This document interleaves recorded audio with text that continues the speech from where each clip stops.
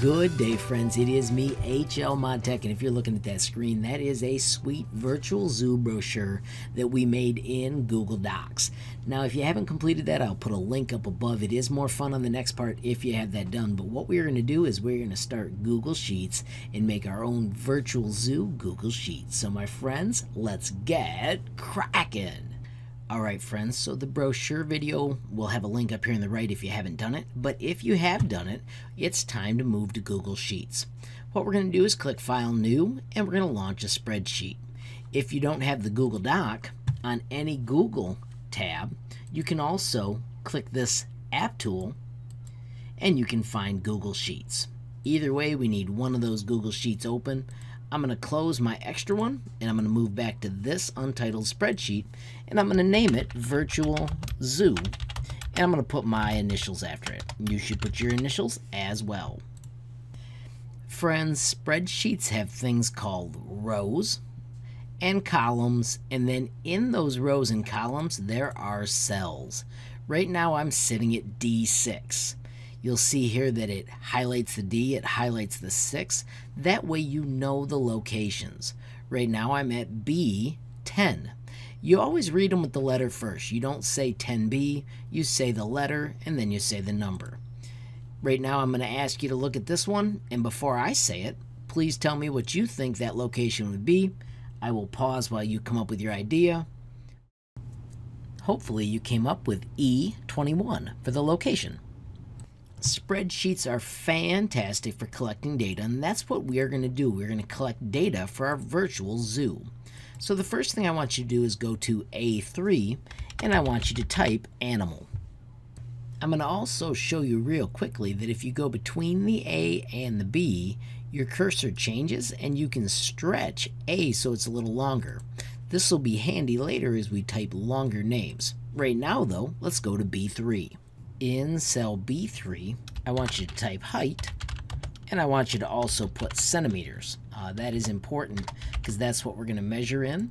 And then I need you to type weight, and I want you to type kilograms. And then the last one I want you to type is offspring, which is how many babies they have. Then I want you to return to your virtual zoo. If you didn't create this, you're just going to have to make these up, or you can get this one done. And I am going to do the penguins, the giraffe, and the tree frog. So I simply write those in right here.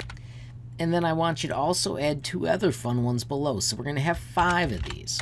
So I'm going to do the lion, and I'm going to do a polar bear. Now, when you search for these pieces of information, some of them need to be more specific. Like there are so many penguins. So I am going to do the emperor penguin. You can search for whatever you want, but then once you decide you want to find the numbers, it's as simple as this. Start a brand new tab, and I'm going to search with Google. You can use what you want. But remember, we are doing the emperor penguin. So E-M-P-E-R, and I'm going to type emperor penguin and I'm going to do the height, but I'm going to make sure I label it with centimeters. It tells me they are approximately 122 centimeters tall. These can uh, vary, but that's what I'm going to put in, is 122. We do not label this, we just want to make sure that we have a number for each of these because later we're going to make a chart. So let's go to the weight in kilograms. So we simply change what is being searched and when we press enter, we can find out lots of cool information, finding out also that they go between 22 and 45 kilograms. So I'm going to put the max. I'm going to put 45 kilograms for my number in the weight box. Helps if you actually hit the right keys. Once again, do not add labels because that way we can sort it. Let's check offspring quick. If we do emperor penguin and we type offspring after it, it tells us that they lay one egg. So the offspring of a penguin is one. That is how you collect your data, friends. You're not graded by your data, uh, but we do use the data, so make sure you get as accurate as you can. Let's do these steps quickly for the giraffe. Once again, type in the word we're looking for. Mine was giraffe. You can do whatever you want. I'm going to work backwards because offspring is right here at the top. Notice they only give birth to one at a time. Do not always trust the first thing that you see, though. Let's see if there's another place where they've got information. And this is a second location where it verifies that they usually only have one baby at a time. So I'm going to call that confirmed. And the giraffe offspring is one. Let's find that giraffe weight. Now I want to get back to my Google search, so let's use the back. And then up here, we're going to change that to say weight. The northern giraffe is about 1,800 pounds. Once again, you can double check. I'm going to stick with this number. Uh-oh, I don't want pounds. So let's go back and make sure we add that kilograms after it. And this time we can find out it is about 1,192 for the adult male. So I'm going to put 1,192. Big difference in weight between the penguin and the giraffe. And let's check that height and see how different that is as well. Once again, height and remember we are doing centimeters. It is 500 to 600. So I'm going to put the max 600 in this box. So friends, you're going to have to take your other three animals and you're going to have to complete those steps on your own. We also need to take care of some special headings up here. Let's start with what's called merging cells. I want you to click in the middle of A1. So see I am click, hold, and drag. And I'm going to drag all the way out to D. That's called selecting. And then I want you to find the merge button.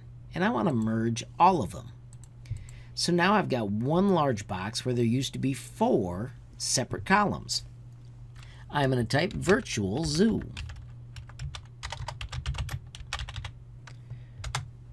And that lands on the left edge, but I want to switch it to the center. I also want to pick an amazing font. So I could select right through the list, but I'm going to show you that there are more that you can find. Scroll down and find one you like. I'm going to scroll down and use lobster. When I hit OK, it shows up kind of nifty, but I want to make it a prettier color.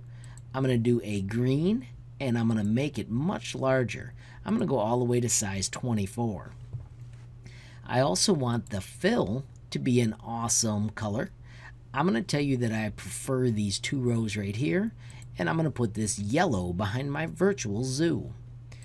I want these to be headings as well, so we're going to select all four of them. You could do one at a time, and we're going to make them bold. It is also nicer when they are centered, so let's align them like that. Alrighty friends, so this is the format. Now you need to finish and collect the rest of the data for your zoo so that you've got the complete project. When you're done with this step, you need to turn in a screenshot. You can use the Chromebook screenshot tool or you can use Nimbus. I've had a video that shows you how to add that. When you hit Nimbus, it is kind of nice. You can do capture selected area and then you get to grab the area that you want to share. Notice those little boxes go away. That shows my zoo and I can save it to my downloads folder so it's ready to turn in. Notice it has the date and then I can return to Classroom and I'm going to add the file. Remember that I upload from my device. Mine was in downloads and it had today's date. When you upload that and turn it in, I will be able to check it and give you a grade. Make sure you're patient though because it does take a second for this screen right here to pop up where you can actually hit turn in on your groovy little project. And remember, friends, if you ever need to, you can unsubmit, change it, give me a better copy. But that way, you still get to work on this project because you did not give me access to it, and I still get to see your cool finished project in Google Classroom. So remember, this is part one. Make sure you get this done so that we're ready for part two. I hope you enjoyed the process and I hope your zoo is starting to look pretty cool. Friends, if you did enjoy the lesson, make sure you give it a like. If you got a question, comment, or a suggestion, add it down below. If you haven't subscribed yet, what are you waiting for? Smash that subscribe button. And last but not least, hit the notification bell if you want to be the first to know when there's a brand new video from me, HL Mod Tech. Thanks for watching. Have a great day.